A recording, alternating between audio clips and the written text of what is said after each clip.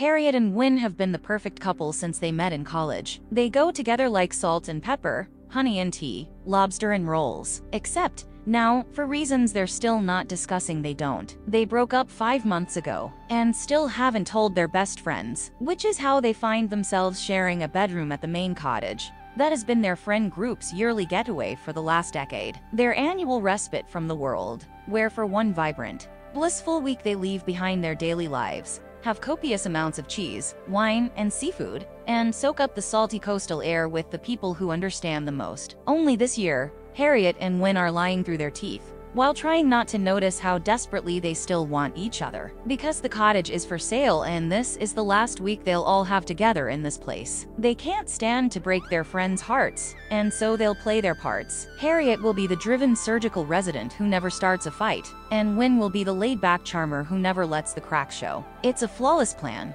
if you look at it from a great distance and through a pair of sunscreen-smeared sunglasses. After years of being in love, how hard can it be to fake it for one week, in front of those who know you best?